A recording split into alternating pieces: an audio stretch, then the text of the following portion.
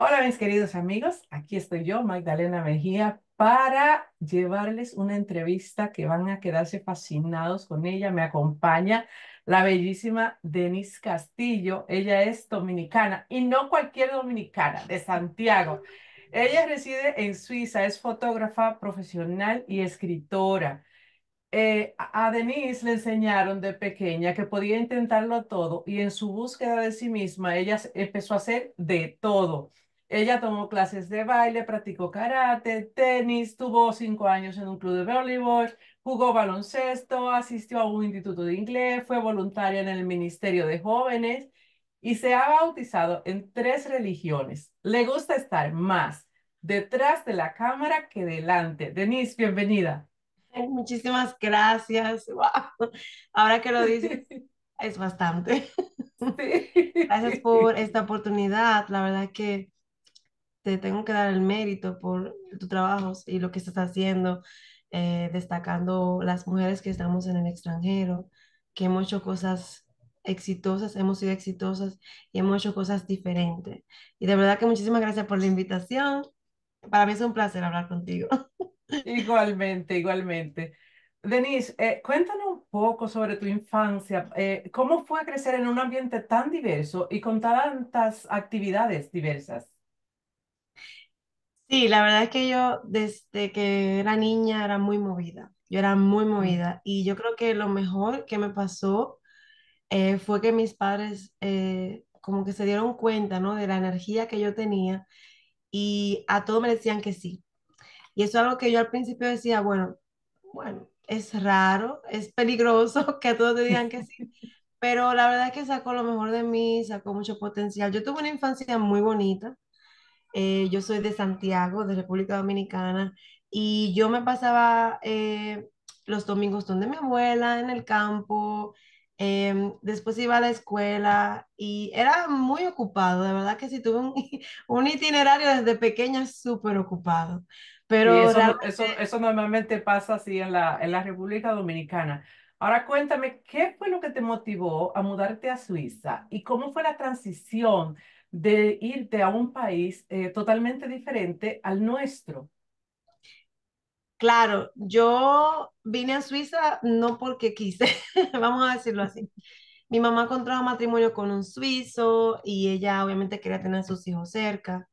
y pues nos trajo. Para mí fue un choque cultural al principio. No puedo decir que no, porque los suizos son muy reservados, aquí no se puede hablar muy alto, ¿sabes? Y las cosas que tú traes desde República Dominicana que nos caracterizan a nosotros los caribeños, pues era prácticamente que yo podía hacer o me tenían permitido hacer quizá un 60% de todo eso, o cuando viene al menos. Claro, al principio fue un poquito difícil la transición, pero como te digo, yo estaba súper curiosa y me acuerdo como ahora que lo primero que yo quería saber era qué significaba todo. O sea, yo quería entender el idioma, pero así. Y fue, fue bien divertido al principio, aunque después también hubo frustraciones y eso, pero la verdad es que la transición tomó tiempo y pues alcanzó lo que tenía que alcanzar en su de- debido momento. Y dime una cosa, ¿cuál fue el mayor desafío que tú enfrentaste al adaptarte a la vida en Suiza? Porque que el, el alemán es uno de los idiomas más difíciles de aprender. Ni siquiera fue el idioma. Yo tenía una, yo tenía muchos amigos en República Dominicana. Yo duré 10 años en la misma escuela. Yo tenía, wow, tenía un círculo enorme. Éramos algunas 10 chicas desde primaria, desde preprimario. O sea que éramos inseparables. Y lo que, el desafío que más grande que yo tuve fue atravesar la pubertad sin mis amigas, vamos a decirlo así, sin, la, sin mi círculo. Em, aquí, claro, tenía que empezar a hacer nuevos amigos, tenía que empezar a conocer el sistema, cómo era la gente, adaptarme.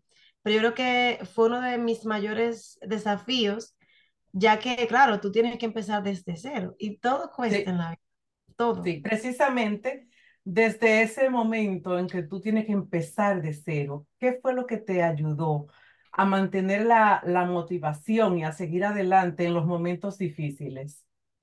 ¿Qué me, qué motivó? Bueno, diferentes cosas. Yo tenía, yo tenía un deseo muy ferviente de, hacer algo en la vida, de, seguir, de avanzar. de, cambiar, de, de mover. Yo siempre he sido así.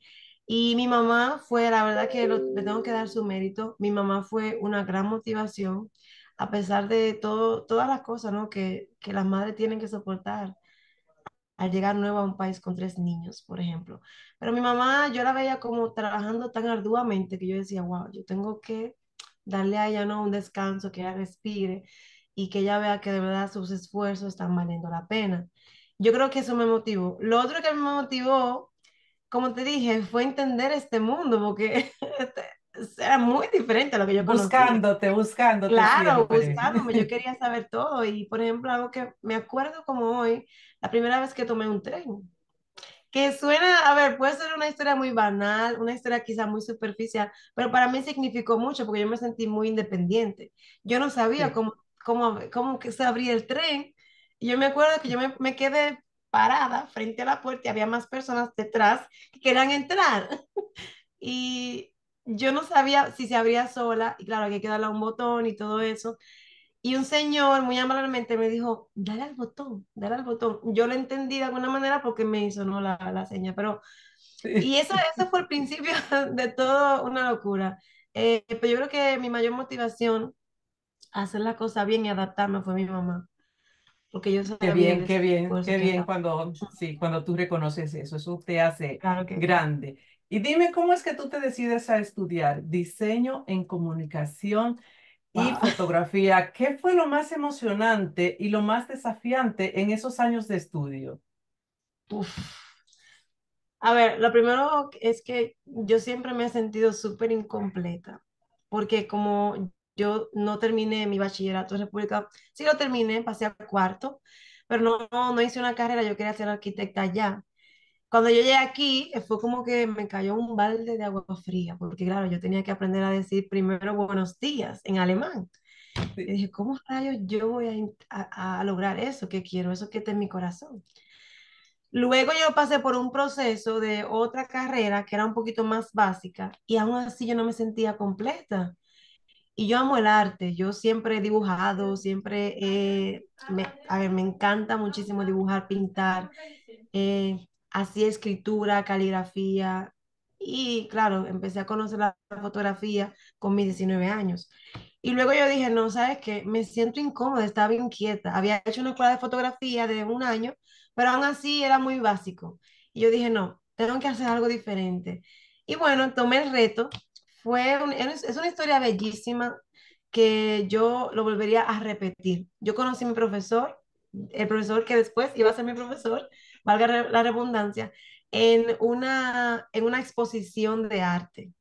Y yo, tenía muchas dudas porque yo decía, yo voy a entender la escuela, yo voy a entender ese sistema, cómo será, será difícil o pasar el examen. Y yo lo conocí a él y él, yo le expliqué un poquito mi historia, fue una coincidencia porque él estaba justamente dando clases de diseño y, y de comunicación y fotografía en esa escuela.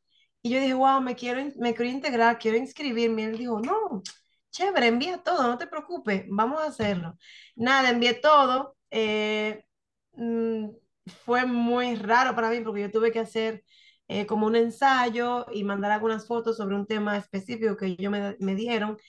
Y bueno, pues yo en medio de la pandemia pasé el examen, que ese fue otro tema, excelente, excelente. Tú como fotógrafa tiene- impresionante, tienes eh, la ventaja de que te puedes, o sea, plasmar las imágenes y todo. Y esas imágenes tú las has querido llevar a la, al mundo de las letras y te has decidido a escribir un libro. ¿Qué significa para ti estar escribiendo un libro? Y sobre todo porque tú tienes un tema muy controversial. Claro. Bueno, para, para poner en contexto a las personas, yo estoy escribiendo un libro sobre, eh, mi libro se llama A los hombres de mi vida y son em, relatos eróticos. Como tú dices, exactamente, mi mente está todo el tiempo creando imágenes y yo tengo una, yo tengo mucha imaginación, tengo mucha fantasía, claro, yo vivo la realidad, eh, pero también me permito entrar pues lo más adentro, ¿no? Esas, esas ideas que me salen y esa forma de hablar, esa forma de escribir, de hacer fotografía y yo me permito a mí pues que todo eso pase en mi vida y Eh, yo siempre he querido escribir, pero siempre lo había hecho para mí. Era como algo muy íntimo. Yo tuve un diario eh, y las ideas y como yo escribía y plasmaba todo, pues eran, eran raras. ¿eh? Cualquier persona hubiese dicho, ay, qué rara esa niña, ¿no? Pero eh, yo se lo di, yo hice un, un borrador, básicamente empecé mi libro con un borrador de una historia súper jocosa sobre una niña de 11 años que le da, que da su primer beso. Y la forma en la que yo describí todo eso cautivó a una amiga mía, que ella lo leyó el borrador. Me dijo, mana, sigue escribiendo, sigue escribiendo, eso está, pero muy bien. Y yo como que, está loca, no, claro que no, ella, sí, de verdad, entonces ella precisamente le da el borrador a su esposo. Y ya tú sabes, para mí la, la, la opinión de una mujer es súper importante sobre todo en ese tema. Pero cuando un hombre también lo cautiva, para mí como que, ok, sabes que los hombres regularmente tienen otro tipo de intereses, que leer un libro escrito por una mujer, y esa es nuestra realidad. Y eso yo lo he comprobado. En fin, que nada, lo leyó y pues también me dijo, está muy nice, no sé qué, tienes que seguir. Y ellos todos me, me inspiraron, me, me motivaron y bueno, yo seguí escribiendo y ya, claro, ya estoy terminando, ya mi último capítulo está escrito, solamente que he pasado por algunos, unos, una que otra cosa en mi vida, he tenido que pausar y volver y pausar y volver.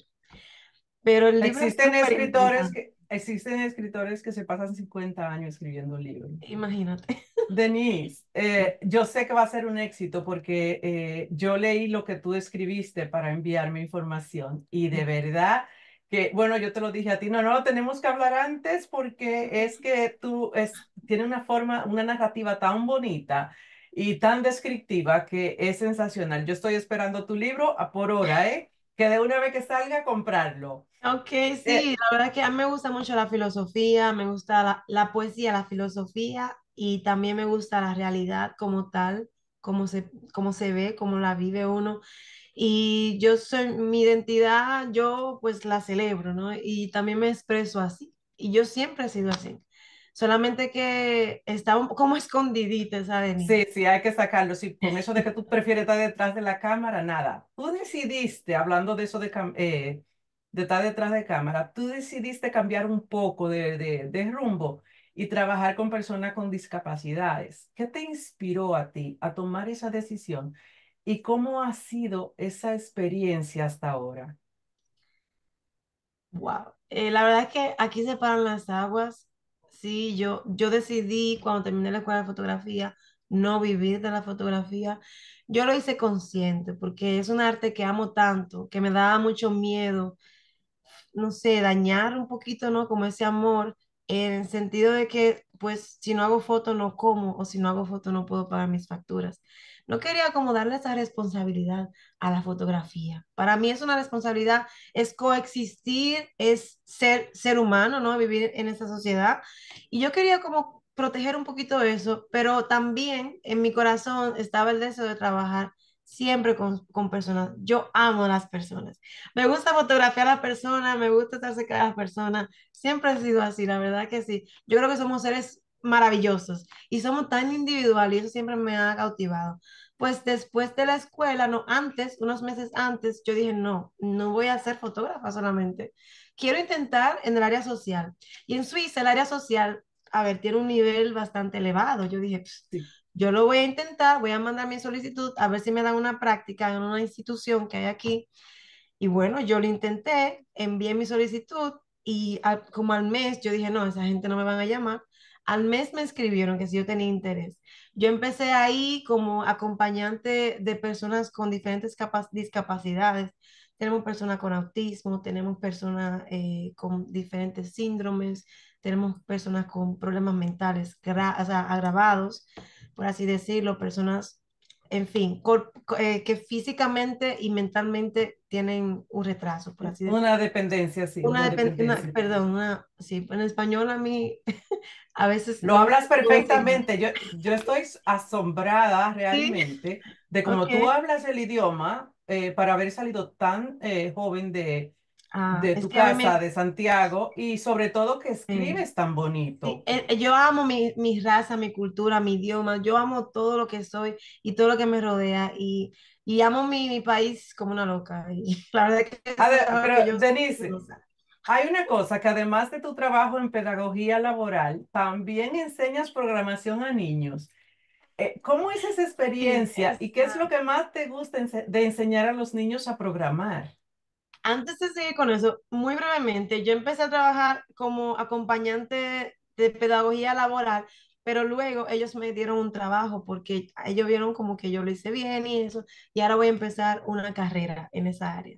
Y lo de los niños, eso fue una locura. Yo en, a ver, después de la pandemia, yo me quedé sin trabajo porque quería hacer la escuela y estaba viendo de mis ahorros y me sentía un poquito como... "Pf, ¿Qué voy a hacer ahora? Pues yo empecé a buscar trabajo y me tocó eh, vi, ¿no? Un trabajo que estaba buscando ayudantes para enseñar a los niños a programar su propio videojuego.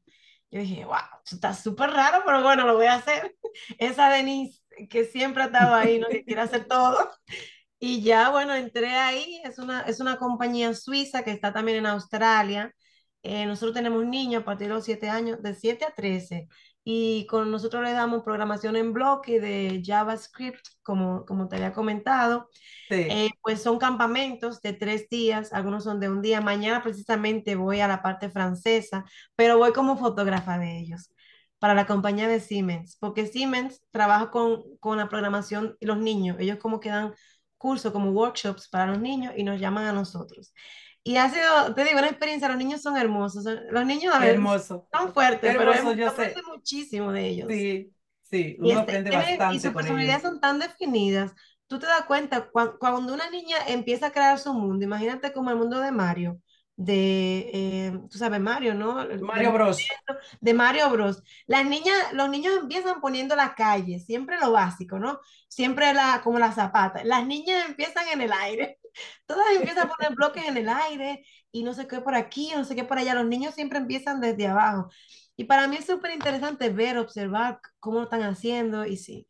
Soy profesora, soy ayudante y, profe- y también fotógrafa para ellos. O sea, mamá- Genial.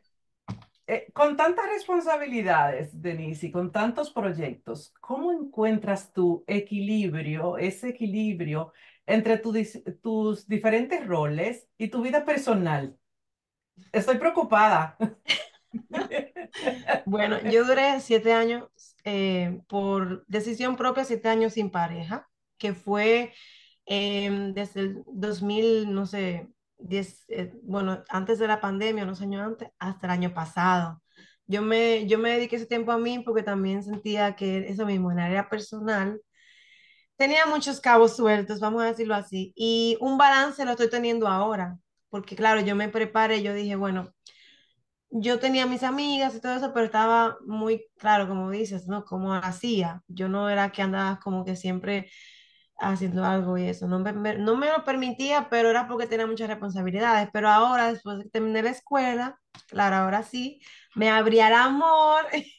Y ahora es que básicamente como que dejé entrar, ¿no? Esa, e- esa, esa oportunidad en mi vida y fue el mejor momento porque es imposible tú tener una vida personal activa, así una relación o, o vamos a decir, llevar una vida súper relax haciendo tantas cosas. Pero yo sí. esperé, yo esperé, yo no, no tenía pareja mientras estaba tan, tan Tan ocupada. ocupada, sí, tenía tiempo para ti en ese momento. Ahora yo me pierdo, mis amigos me sí. escriben, no les contesto, estoy pasando tiempo con mi novio.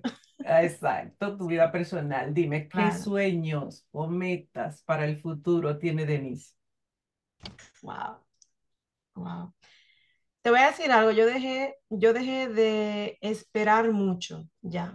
Me di como que tranquila, deja que fluya, pero sin embargo, yo sigo teniendo muchos sueños.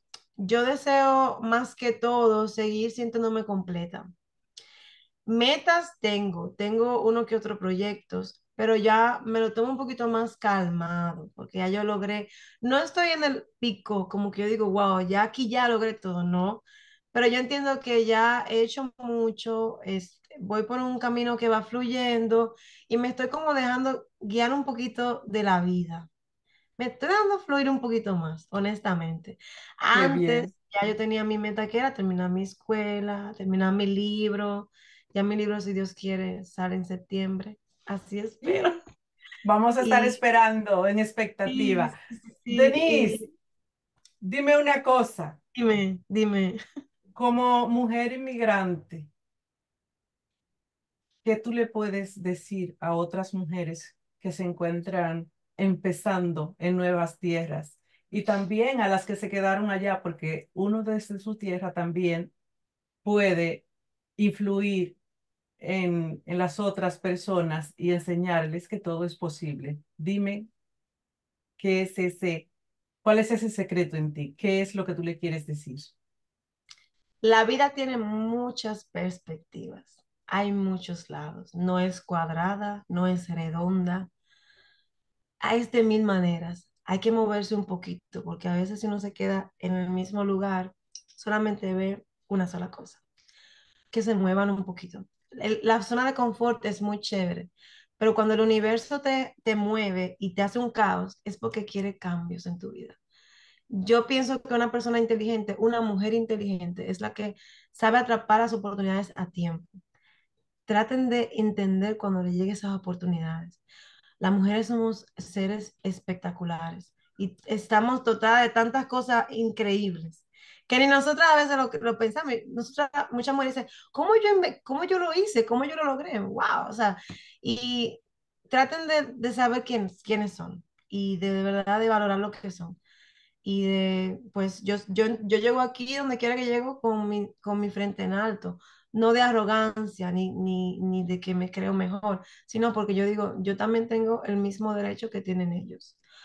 Yo soy inmigrante, se me nota en el alemán que hablo español y amo mi acento, pero aún así puedo decir muchas cosas en alemán y puedo siempre así, así o así. Entonces, que nada, que que la vida se, la vida se afronta, lamentablemente a veces yo no quería irme de mi país, yo quería morir en mi país, pero ha, ha sido una experiencia fenomenal ver otras mentalidades, con otras personas y nada, que la vida siempre te lleva, te lleva a lugares mejores. Que traten de darse cuenta cuando la oportunidad está ahí y que la tomen. Eso es lo que yo, de verdad, de Yo, corazón le digo, sie- yo siempre digo, florece donde estés, donde sea, en donde donde quiera que sea. sea, porque tú tienes eh, tu personalidad, tu don, y eso eh, no te deja eh, fallar. Así mismo. Y algo, Magdalena, algo que yo hice también, que para mí fue muy claro desde el principio.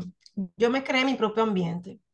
Yo cuando quiero estar en, la, en el bullicio dominicano en mi cabeza y eso me voy un poquito para el lado dominicano. Cuando quiero estar tranquila me voy un poquito para el lado suizo.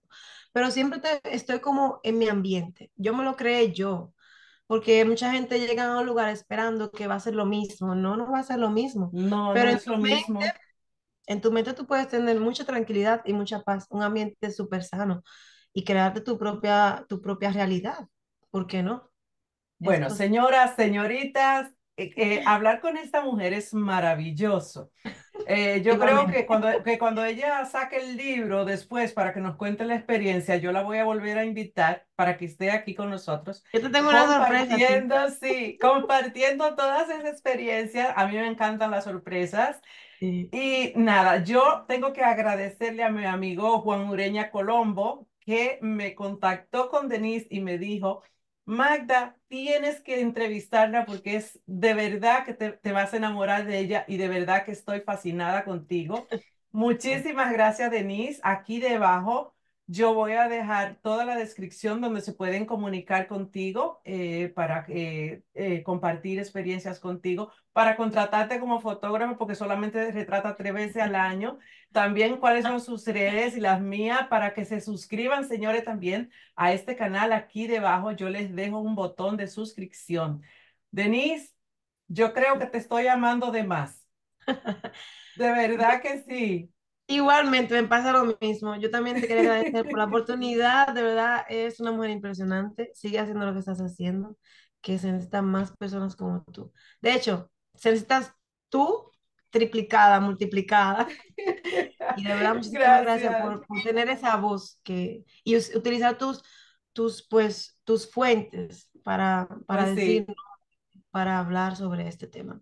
Bueno, esa es, esa es la idea del Mullen, que así se llaman las, esas son las iniciales del nombre del programa, eh, para Ujú. cortarlo, el Mullen. Así que muchísimas gracias. Nosotros vamos a Gracias a despedirnos ya de verdad desde aquí, a ver a dónde es que eh, vamos a hacer esto porque